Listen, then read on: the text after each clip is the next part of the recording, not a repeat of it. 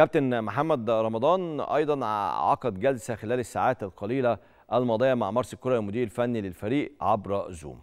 كولر بيتواجد في الخارج لقضاء أجازته الخاصة بعد السوبر الأفريقي والجلسة شهدت مناقشة بعض الأمور الخاصة بالمرحلة اللي جاية وأيضا آلية العمل داخل الفريق بعد تنصيب رمضان مديرا رياضيا بالفريق.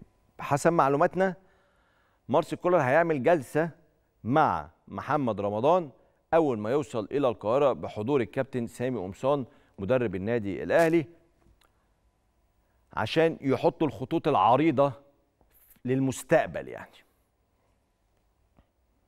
بعدها هيبقى في جلسة ما بين كولر والكابتن محمود الخطيب والكابتن محمد رمضان في حضور لجنة التخطيط.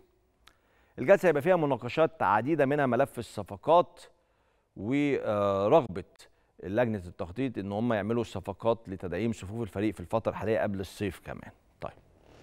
ويبقى في مناقشات عن اللائحة وحاجات كتيرة تانية. كل ده معلومات تبدو عادية. يعني المعلومه المؤكدة. ودي الجديدة. حتى هذه اللحظة. حتى هذه اللحظة. مارسيل كولر لم يتخذ قراره بعد حول هل سيجلس محمد رمضان على دكة الفريق دكة البدلاء بتاعة الفريق ولا لأ؟ هل محمد رمضان هيبقى موجود مع الفريق في المعسكرات ولا لأ؟ كل ده لم يحسم.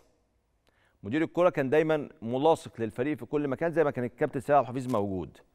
بس مارسيل كولر لحظه لحد اللحظة ما قالش قراره. طيب هل هو قراره ولا لأ؟ لأ. ده قرار مجلس إدارة النادي الأهلي. ده قرار الكابتن محمود الخطيب تحديدا. كابتن محمد رمضان هيجلس على هيجلس على مقاعد البدلاء حتى لو رفض مارسيل كولر حتى لو رفض مارسيل كولر بس مارسيل كولر ما قالش رأيه حتى في الأمر حتى هذه اللحظة.